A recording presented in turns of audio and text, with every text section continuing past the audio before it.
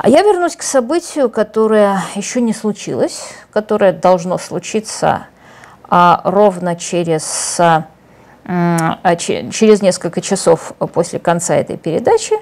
А, я имею в виду а, запуск первой частной ракеты с двумя астронавтами а, к МКС, который должен состояться в 22 часа 22 минуты по Москве.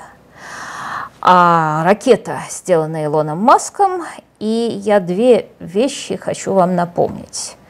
А, во-первых, что Илон Маск стал миллиардером не потому, что он играл в хоккей с Путиным, или был его массажистом, или поваром и охранником, а это человек, который приехал в Америку, который иммигрант, который занимался физикой в университете Пенсильвания, который поступил в Стэнфорд в 1995 году, пробыл там два дня, ушел из университета – а основал свою первую компанию в 24 года, у него было ровно 2500 долларов.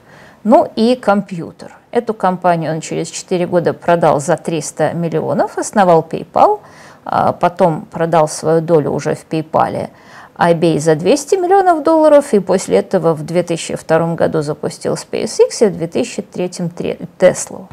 Это человек крайне эксцентричный, как позволительно гению. А он нанимал лучших инженеров, но самое главное, работал вместе с ними.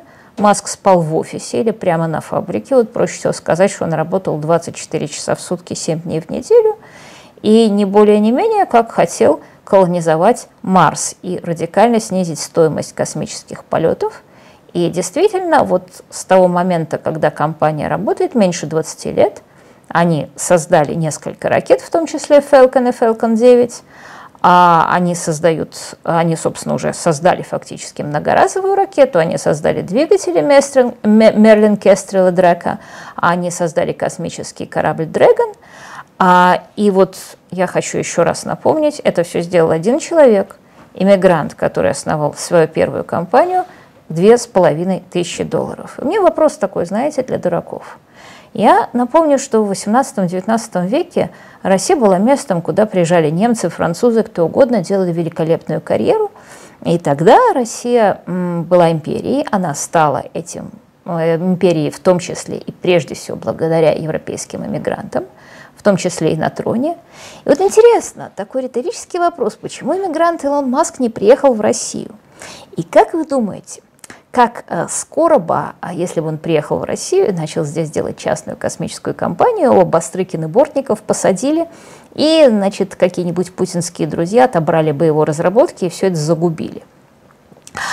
А второе, космическая гонка, она всегда была делом государств Советского Союза и Соединенных Штатов, и нам всегда говорили, что это такая область, ну, где нужны гигантские вложения, это только государство, это только оно это может.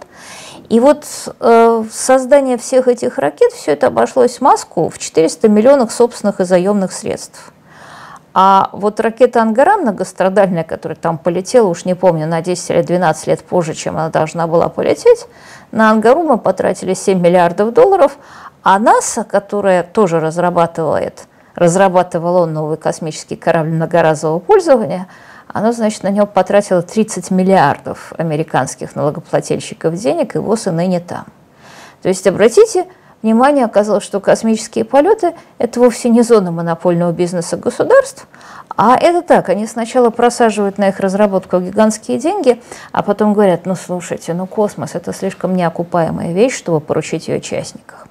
Я не буду сейчас говорить о других разработках масла, о Тесле, о солнечных батареях, которые, кстати, похоже, провалились. Это нормально, не все проекты должны удаваться. Про гиперлуп не буду говорить о его смешных поступках, а, да, когда он, например, назвал дайвера, спасавшего детей в Таиланде педофилом.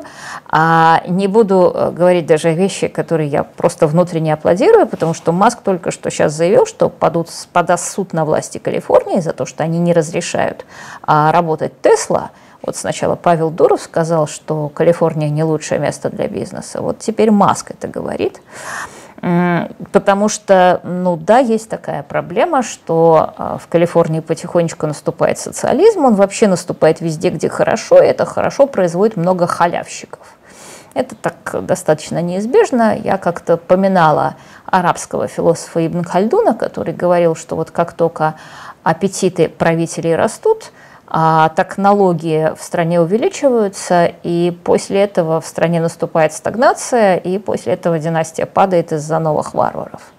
А вот у Ибн Хальдуна росли аппетиты правителей, а в демократических государствах аппетиты растут у халявщиков по мере того, как э, улучшается ситуация в экономике.